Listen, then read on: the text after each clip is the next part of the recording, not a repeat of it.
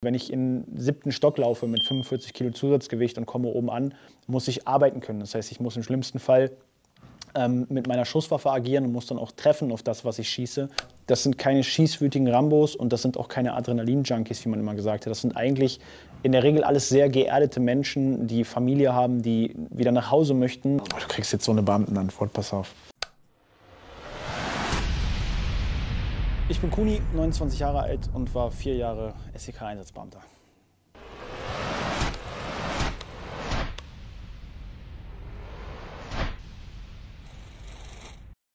Wie oft wurdest du schon nach dem Sondereinsatzkommando gefragt? Unzählige Male. Wenn ich dafür einen Euro bekommen hätte, dann hätte ich wahrscheinlich auch ausgesorgt. Also es ist wirklich tatsächlich eine sehr, sehr häufig gestellte Frage, dass, oder beziehungsweise Aussage, dass Leute sagen, hey, du arbeitest ja beim Sondereinsatzkommando statt beim Spezialeinsatzkommando. Und was ist richtig?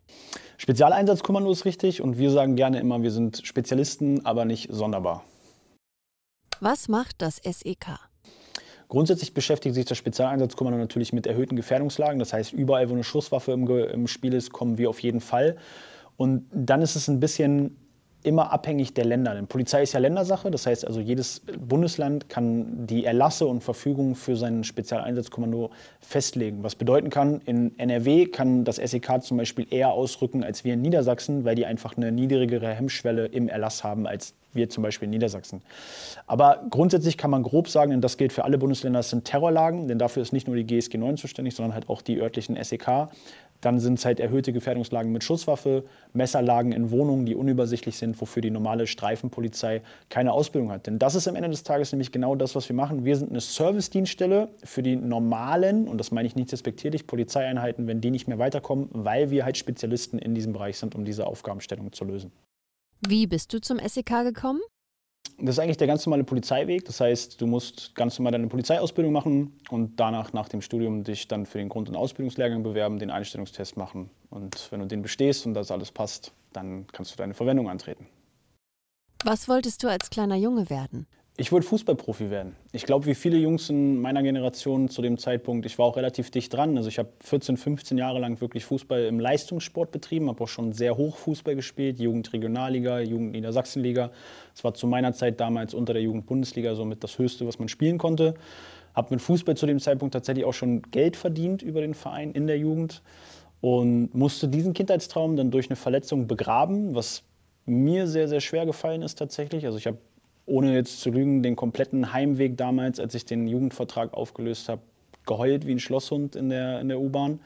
Ähm, ich hatte einen Knorpelschaden im Knie und bin dann danach zur Polizei gegangen, weil es für mich nur Polizei oder Bundeswehr neben dem Fußball gab und ja, habe mich dann für die Spezialeinheit entschieden, weil das hat mich als Kind schon immer fasziniert, neben dem Fußball. Aber den Haupttraum musste ich so mit 18 ungefähr schmerzlich begraben.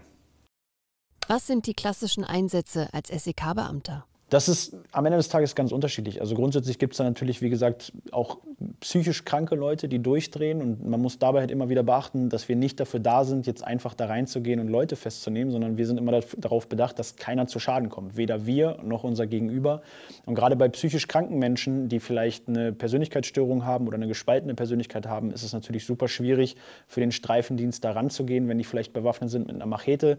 Ich hatte zum Beispiel meinen ersten Einsatz, war ein psychisch kranker Mensch, der sich mit einer Machete in einem Hinterhof, ich möchte nicht sagen verbarrikadiert hat, aber zumindest dort aufgehalten hat und auch die eingetroffenen Einsatzbeamten, also die Streifenbeamten mit der Machete angehen wollte, auf Pfefferspray nicht reagiert hat und die Beamten keine Möglichkeit hatten, auf diese Person einzuwirken, wo wir natürlich mit unserem Gerät, weil wir andere Ausstattung haben, andere Ausrüstung haben, viel besser auf die Person einwirken können, ohne dass die Person am Ende auch zu Schaden kommt. Denn das ist kein Mensch, der das jetzt aus purer Boshaftigkeit oder Absicht tut, sondern der ist psychisch krank und braucht am Ende des Tages irgendwie Hilfe.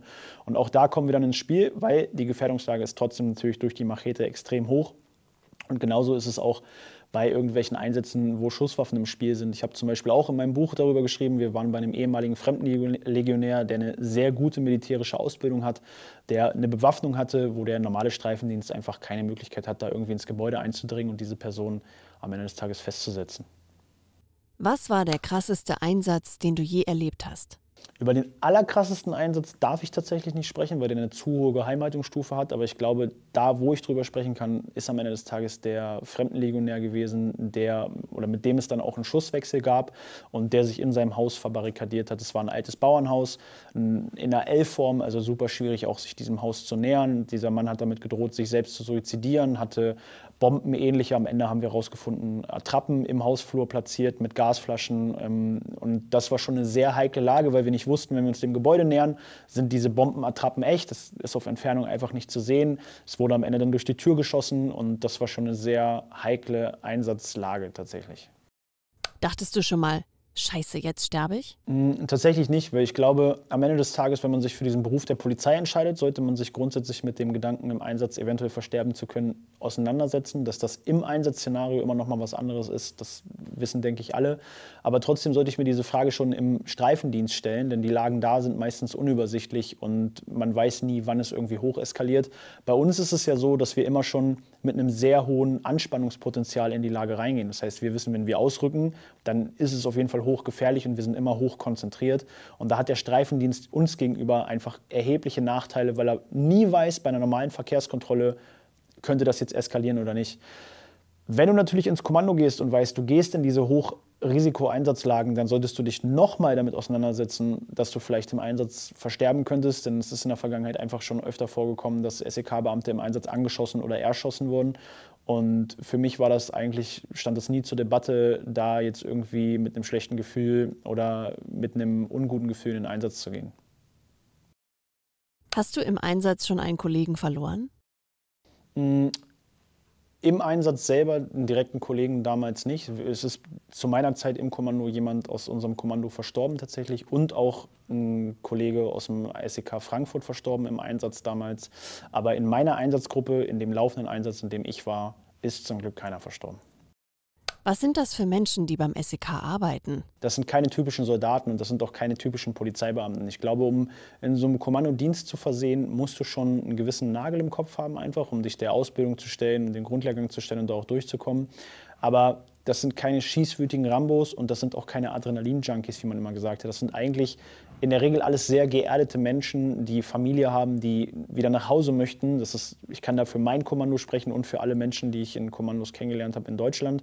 Dass es da vielleicht Ausnahmen gibt, will ich nicht abstreiten. Das ist einfach der, der, der Tatsache geschuldet, dass das ein sehr risikobehafteter Beruf ist. Aber grundsätzlich sind das Menschen, die sicherlich den Drang dazu haben, sich zu beweisen und über sich hinauswachsen zu wollen. Aber es sind jetzt keine Rambos und auch keine Schießwütigen, die irgendwie Bock haben, jetzt in den Einsatz zu gehen und irgendwen zu verletzen oder Sach- oder Personenschaden anzustellen. Hattest du das Gefühl, deine Arbeit wird nicht wertgeschätzt? Mm, auf jeden Fall. Also grundsätzlich ist es sowieso so, dass ähm, Polizei und auch Militär, glaube ich, in, in Deutschland ein relativ schlechtes Standing haben. Wenn man sich das jetzt zum Beispiel mal in den USA anguckt, da werden Veteranen ganz anders gewertschätzt als hier. Ähm, ob das jetzt unbedingt immer so gut ist, wie es in der USA läuft und wie extrem es da ist, das möchte ich jetzt auch nicht in, in, ins richtige Licht rücken, dass das der richtige Weg ist. Aber ich glaube, wir haben immer Schwierigkeiten, die gesunde Mitte zu finden. Es ufert entweder in die eine oder in die andere Seite aus. Und ich glaube, dass es grundsätzlich schon so ist, dass die Leute ein sehr negatives Bild der Polizei haben und auch ein sehr negatives Bild vom Militär haben. Und am Ende des Tages ist es in unserem Fall im Kommando immer so gewesen, dass wir sehr gut dafür da waren für die Politik oder auch für die Gesellschaft, wenn man sagen konnte, ja, die gibt es ja und die kriegen jetzt auch jemand ein neues Auto und es ist total toll, dass wir die haben. Wenn dann aber wirklich was passiert und es ging um Leben oder Tod und auch wir hatten eine extreme Gefährdungslage für uns und wir möchten zu Hause nach unseren Kindern, dann werden wir damit oft sehr alleine gelassen. Und das nicht nur von der Politik, sondern auch dann einfach in den Medien von der Gesellschaft komplett auseinandergepflückt, weil dann stellt sich auf, einer, auf einmal keiner mehr dahin und sagt, ja, ist ja toll, dass wir die haben, sondern dann sind wir wieder die schießwütigen Rambos, die ähm, gerne losgehen und äh, Schaden anrichten. Warum hast du dich entschieden, beim SEK und auch als Polizist aufzuhören? Für mich war meine Reise tatsächlich einfach vorbei und ich kann mich noch sehr gut daran erinnern, dass das mir nicht leicht gefallen ist. Das war eine Entscheidung, die ist tatsächlich über ein paar Monate rangereift, weil das auch keine Entscheidung ist, die man von heute auf morgen trifft. Weder, dass man das Kommando verlässt, denn das war immer das, was ich bei der Polizei unbedingt machen wollte, noch weniger die Entscheidung, den Beamtenstatus aufzugeben. Und das ist über ein paar Monate dann tatsächlich in mir rangereift, dass ich einfach nicht mehr so glücklich war und auch nicht mehr dieses Feuer so in mir drin gespürt habe, wie es eigentlich hätte sein sollen. Und das hatte nichts mit der Arbeit im Kommando an sich zu tun oder mit den Kameraden oder mit allem, was da so passiert, sondern einfach mit der Behördenstruktur drumherum. Denn es ist am Ende so, die Behörde macht einem das Arbeiten bei der Polizei, aber auch in so einem Kommando unglaublich schwierig. Und ich habe einige Fälle in meinem Buch auch beschrieben. Wir durften eine Zeit lang keine Überstunden machen, was einfach faktisch nicht umsetzbar ist in so einem Kommando, dass man einfach nach acht Stunden stempelt und nach Hause geht. Und das sind alles so Dinge, wo man einfach aufgrund dieser festgefahrenen Behördenstrukturen und dieser Bürokratie sich tot verwaltet, die mir den Spaß am Arbeiten genommen haben. Ich weiß, dass es einigen Kollegen und auch ehemaligen Kameraden so geht, die aber trotzdem natürlich sich irgendwie verpflichtet fühlen, ihren Dienst weiter dort zu versehen oder auch ihren Beamtenstatus nicht aufgeben wollen. Und auch das kann ich völlig nachvollziehen. Aber ich habe für mich einfach ungefähr vor zweieinhalb Jahren, ich bin im März 22 dann bei der Polizei ausgeschieden, die Entscheidung getroffen, dass ich das definitiv nicht bis 63 so weitermachen möchte. Und das hatte nichts mit der Polizeiarbeit zu tun oder mit der Arbeit im Kommando oder den Kameraden oder den Kollegen auf der Straße, sondern einfach mit den Behördenstrukturen. Denn ich glaube, das ist, wenn man sich da frei entfalten möchte, ein schwieriger Weg ist, da in der Behörde wirklich am Ende des Tages seinen, seinen Frieden zu finden. Und was machst du heute? Ähm, ich bin ungefähr im März 2022 bei der Polizei dann raus tatsächlich, also wie gesagt auch noch gar nicht so lange. Und ich habe angefangen, mir die letzten Monate in der Polizei eine Fußballtrainerkarriere aufzubauen. Das heißt, die letzten Monate, wo ich zwar noch Polizist war, aber schon nicht mehr im Kommando war, habe ich im Lagezentrum hospitiert im LKA und habe angefangen, Fußballprofis und auch Spieler aus Nachwuchsleistungszentren, zum Beispiel von Hannover 96, im Techniktraining im Fußball, in der Athletik ein bisschen und aber vor allem auch in der Videoanalyse zu unterstützen und auch dort zu trainieren. Und habe mich damit selbstständig gemacht und bin dann durch einen ja eigentlich eher kuriosen Zufall im Oktober 2022 äh, auf YouTube gelandet mit einem eigenen YouTube-Kanal und mache das jetzt auch seit Oktober 23 quasi hauptberuflich. Das heißt, ich mache jetzt auch keinen Fußball mehr, sondern es ist inzwischen so viel geworden, ähm, dass ich Hauptzeit Content Creator bin und auf YouTube, Instagram, Twitch ähm, meinen Content bringe und meine Projekte durchziehe. Was waren deine größten Learnings beim SEK? Ich glaube, mit das Wichtigste, was ich gelernt habe, war unter anderem, mich unterzuordnen, einfach um in einem Team zu funktionieren, weil in so einem Kommando einfach sehr viele krasse Individualisten arbeiten und sich da einfach vernünftig in ein Team einzufügen, war mit das, was ich am meisten fürs Leben gelernt habe, dass es nämlich wichtig ist, sich selbst nicht immer an erster Stelle zu stellen. Und ich glaube, dass das ein sehr, sehr wichtiger Punkt war für mich auch durch diese Geschichten mit dem Hinterherlaufen beim Sport und mich da einfach vernünftig einer Gruppe unterzuordnen. Genauso aber auch die Selbstkontrolle, einfach in, gewissen Situationen seinen Puls und auch seine Atmung so zu kontrollieren, dass ich trotz körperlicher Anstrengungen geistig, kognitiv, aber auch körperlich in der Lage bin, meine Dinge abzuarbeiten. Denn man kann das an einem einfachen Beispiel bringen. Wenn ich in siebten Stock laufe mit 45 Kilo Zusatzgewicht und komme oben an, muss ich arbeiten können. Das heißt, ich muss im schlimmsten Fall mit meiner Schusswaffe agieren und muss dann auch treffen auf das, was ich schieße. Und sich da dann einfach in so einen mentalen Fokus zu bringen, sich selbst zu regulieren, seinen Puls zu regulieren, auch den Stress runter zu regulieren, ist so, glaube ich, mit das, das Wichtigste, was ich überhaupt dort gelernt habe. Und vor allem aber auch Achtsamkeit. Denn wir sind die ganze Zeit irgendwie mit Leben und Tod konfrontiert, weil die Einsatzgefährdung einfach sehr, sehr hoch ist. Und das hat mir einfach gezeigt, dass es umso wichtiger ist, zu Hause mit der Familie, aber auch wenn man mit den Kollegen vielleicht mal zusammensitzt und es einfach schön ist und lustig ist, diese Momente einfach bewusster wahrzunehmen und ähm, dann auch einfach im Moment zu sein. Hast du deiner Partnerin von deinen Einsätzen erzählt? Du kriegst jetzt so eine Beamtenantwort, pass auf.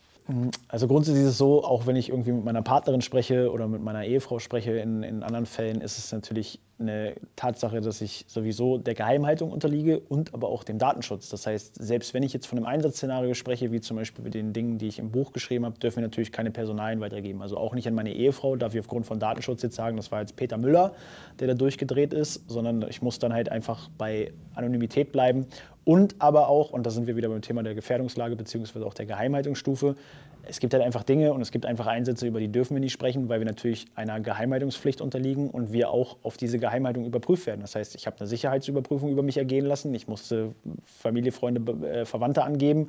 Ich musste ähm, durch das LKA prüfen lassen, ob irgendwie schon mal Leute in meiner Vergangenheit in meinem Umfeld kriminell geworden sind oder oder oder.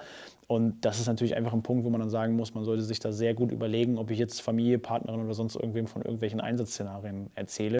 Was macht die SEK-Arbeit mit einer Partnerschaft? Ich glaube tatsächlich, dass das sehr individuell ist. Ich glaube, dass es Menschen gibt, die da besser mit umgehen können. Ich weiß, dass es aus meiner vergangenen Partnerschaft tatsächlich immer so war, dass wenn nachts das Handy geklingelt hat oder wir irgendwo hinfahren mussten, es gab eine Gefährdungslage, sich dann natürlich immer sehr viele Gedanken gemacht werden.